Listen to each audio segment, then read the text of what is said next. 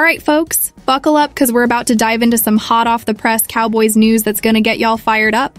Imagine this Micah Parsons, our defensive dynamo, is stepping into a pivotal season with new leadership. With Dan Quinn gone, will Parsons still be the game changer we know and love, or will the new defensive scheme shake things up? Meanwhile, DeMarcus Lawrence might be on the outs as the Cowboys eye fresh talent and budget room. And don't even get me started on the rookies Marshawn Kneeland and Sam Williams are on the brink of making their mark. Curious about how this all plays out? Stick around because you won't want to miss how the Cowboys' defensive puzzle is coming together for 2024. Alright y'all, let's dive into the latest buzz about our Cowboys defensive ends as we gear up for 2024. There's a whole lot of questions hanging in the air about their futures with the team. From the young dynamo Micah Parsons to everyone else on that depth chart, they've all got something to prove this season. Now, I know Parsons is technically listed as a linebacker, but let's be real here. Based on how Dallas uses him, he's practically a defensive end, spending most of his time chasing down quarterbacks. Until the Cowboys officially switch to a 3-4 scheme, or calling it like we see it. Parsons has already shown he's a force to be reckoned with after three stellar years. But this season's a bit different, it's his first without Dan Quinn as the defensive coordinator. It's gonna spark a whole new round of debates. Did Quinn make Parsons a star, or was it the other way around? This year might just give us some answers. So folks, keep your eyes peeled and your spirits high as we watch how this all unfolds. The 2024 season is going to be one heck of a ride for our Cowboys, and you won't want to miss a second of it. Well, y'all, let's talk about Micah Parsons and what he's got cooking this season. Lucky for him, Mike Zimmer ain't no pushover as a coordinator. With the Cowboys bringing in veteran Eric Kendricks and fresh-face Marist Liufau this offseason, plus DeMarvion Overshown coming back from injury, Parsons ain't gonna see much change in his role. He's still gonna be tearing it up as a pass rusher, and that's why folks are still talking about him in the same breath as the defensive ends. Now, Parsons is heading into the final year of his rookie contract, and while he's got that fifth-year option for 2025, it's pretty doubtful he's gonna want to play for chump change, especially when his buddy CeeDee Lamb is making moves for more cash. If Parsons has another standout season, look for him to be just as fierce in getting a new deal as Lamb is. On the other hand, DeMarcus Lawrence has got his own worries about his next contract, but it likely ain't gonna be with the Cowboys. Lawrence is a free agent after this season, and Dallas might be looking to go cheaper. With Lawrence's $20.4 million cap hit this season and a $7.4 million dead money hit in 2025 due to a void year, his exit could free up some much-needed space. Turning 33 next April, Lawrence has got to show he's still one of the NFL's top run defenders if he wants to cash in when he hits the open market. But before we go any further with the news, if you share our passion for the Dallas Cowboys, don't miss any updates. Be sure to hit the like button and subscribe to keep up to date with the latest news, trade deals, and player highlights. Your support drives us to offer the best content about the Cowboys, so let's get ready for an exciting season together. Let's keep going. Exciting developments may be on the horizon for the Dallas Cowboys. According to anonymous sources, the team is preparing for some. Why Dallas might be ready to let Lawrence go is cause they just picked up Marshawn Kneeland in the second round. Now, when the Cowboys were up, folks were hollering for a running back or something else, but once Kneeland's name was called, it was hard to argue. The scouts say he's built like Lawrence and moves like him too, but he's probably better at stopping the run than rushing the passer. If all goes well, Kneeland should be starting come 2025, but he's gotta have a killer rookie year to earn that trust. One young defensive end the Cowboys need to step up right quick is Sam Williams. He's heading into his crucial third year and with Dorance Armstrong and Dante Fowler heading off to Washington with Quinn, Williams has a clear path to be a big part of the rotation. He's got every chance to prove himself as a pass rusher, but if he has a down year, the Cowboys might start looking for new talent next spring. Williams saw what went down with Kelvin Joseph in his third season, so he knows draft pedigree ain't everything. Now, y'all keep an eye on these young guns, Kneeland and Williams, cause they could be the key to the Cowboys' defensive future. Stay tuned for more Dallas Cowboys news and see how these fellas shape up.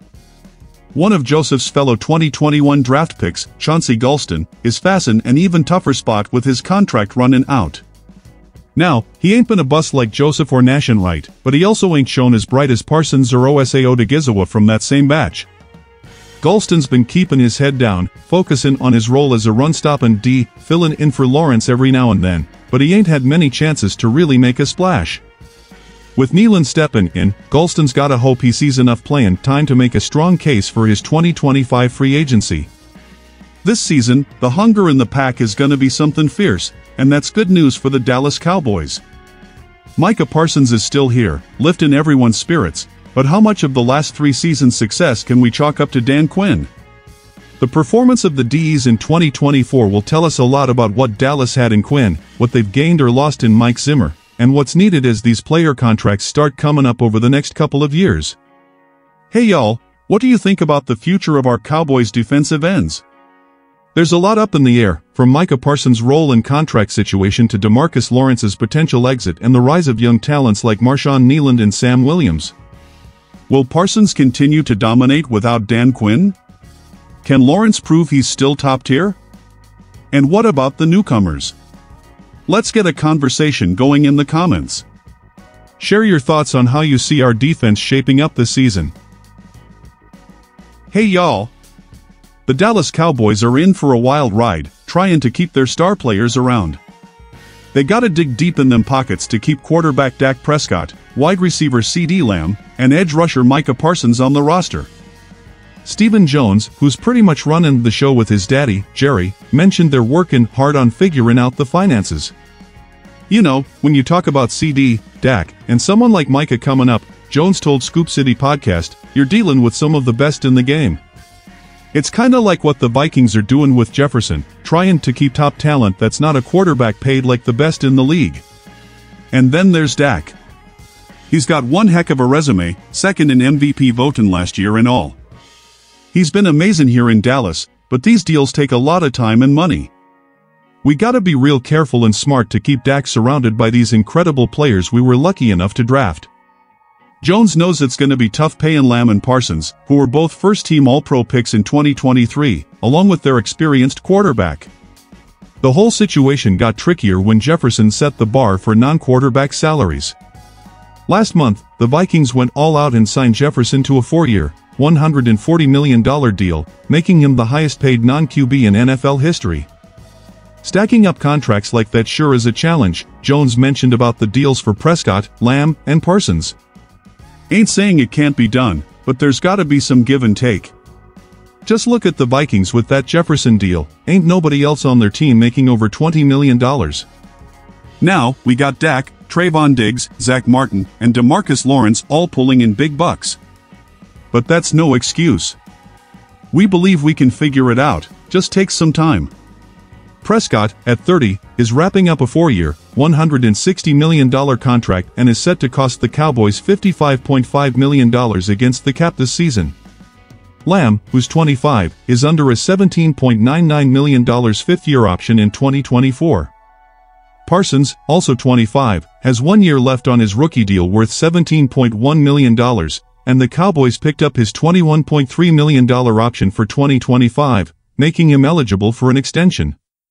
We're hopeful we can lock these guys down, Jones said on the podcast. Dak knows our goal is to keep him here.